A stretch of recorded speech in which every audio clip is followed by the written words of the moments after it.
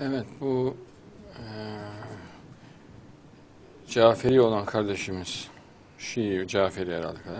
Seyyid Muhammed Hüseyin Horasani yani şey eee müstahar isim olarak kullanıyor. Kardeşimizin gerçek ismi değil. Arkadaşımızın ismini biliyorum. Da yani şimdi söylemem yakışık almaz.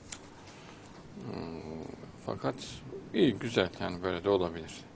Seyyid Muhammed eee, Hüseyin Horasani. Hocam diyor tasavvufla ben bunu açıklayabilirim diyor.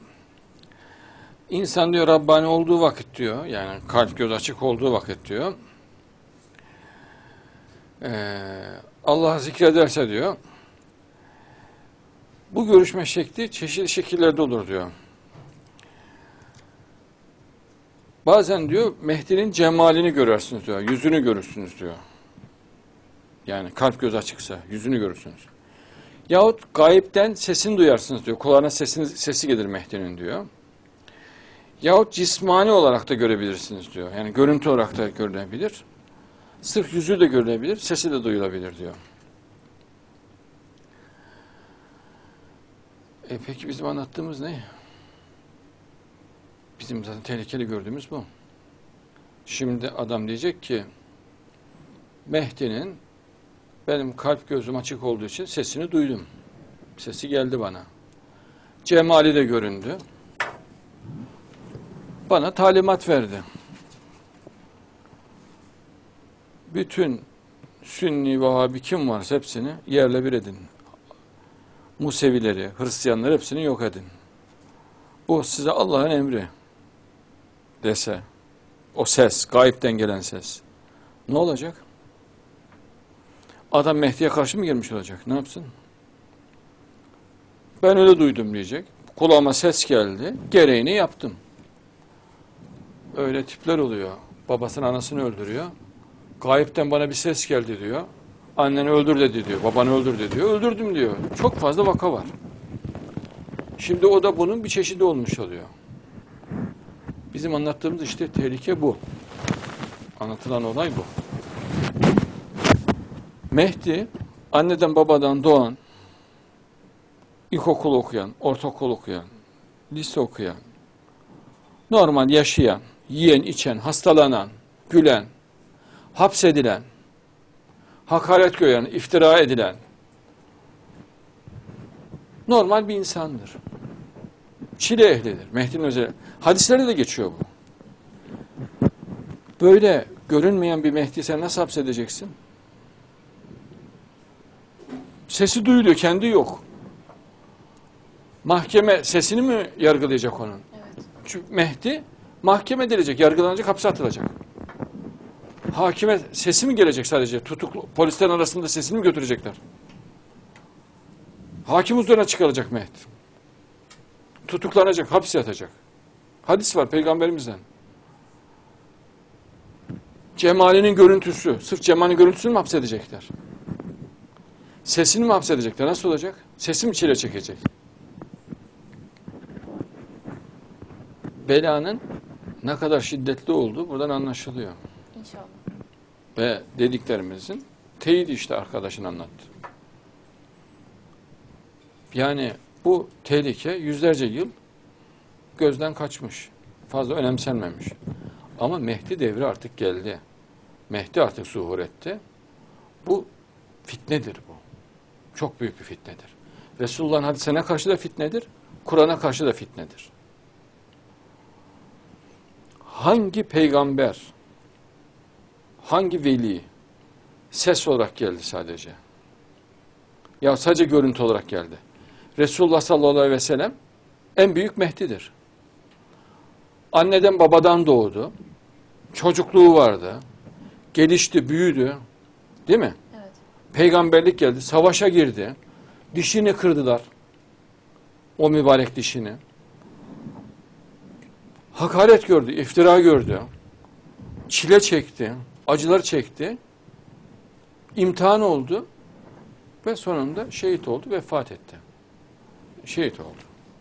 Hazreti Yusuf çocuktu, büyüdü, gelişti. Kuyuya koydular, hapse koydular, çile çekti. Sonunda vefat etti.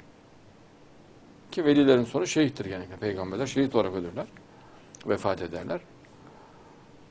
Şimdi bu son olarak arkadaşın anlattığında ise görüntü Mehdi var. Böyle bir Mehdi'nin hiçbir şekilde gelmeyeceğini herkes bilir.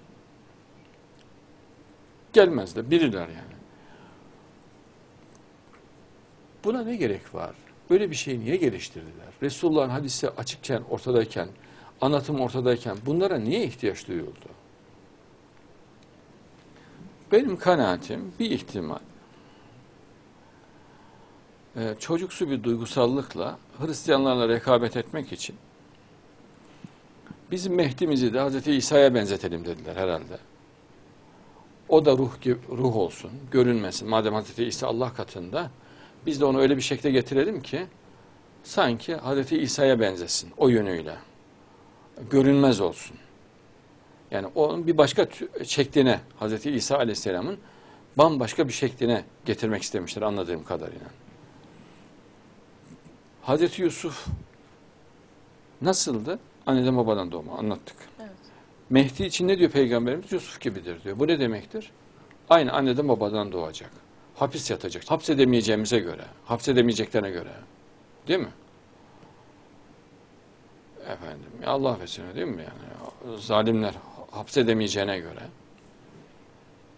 Ee, nasıl olacak? Burada olayın açmaz olduğu görülüyor. Bunun savunulacak bir yönü yok. Mehdi bir şehirde doğuyor. Çile çekiyor. Hakaret görüyor, iftira. Bütün ömrü çileyle geçecektir Mehdi'nin. O yüzden makamı yüksektir. Görüntü halinde olan bir Mehdi, görünmez olan bir Mehdi, duvarlardan geçen bir Mehdi. Bu imtihan olmaz böyle bir Mehdi. Böyle bir insan imtihanı olmaz. Ve dolayısıyla bu aklın ihtiyarını kaldıran bir olay olur. Böyle bir Mehdi'den de Peygamberimiz ayrıca bahsetmiyor. Hadislerde de tamamen çelişiyor bu. Çünkü Mehdi çile çekemez böyle bir durumda. Duvardan geçen adam, kişi nasıl hapse girsin? Ya hapse durur mu o Mehdi? Niye Tabii dursun? ki. Görüntü halinde, ses halinde çıkar gider. Ruh halinde zaten. Geçiyor her yerden geçiyor. Duvarlardan geçiyor, evlere giriyor. Evlere kapıdan girmiyor ki. Her yerden giriyor bunların dediğine göre. E hapishanede niye dursun? Çeker gider. O hapis olur mu? Dolayısıyla bin bir noktada çelişik hadislerle mutabakatsız yanlış bir düşünce. Bu İslam'a çok büyük darbe indirir böyle bir inanç. Çok büyük darbe indirir. Gerçek Mehdi arasınlar. Kimse kim? Ben ayağın altına öpüp arkasından gideceğim. Emir eri olacağım. Ama Müslümanları böyle yanlış bir yola sokmasınlar. İnşallah. Bütün peygamberler çileli imtihan olmuşlardır. Hazreti İnşallah. Musa çölde çok zorluklarla karşılaştı.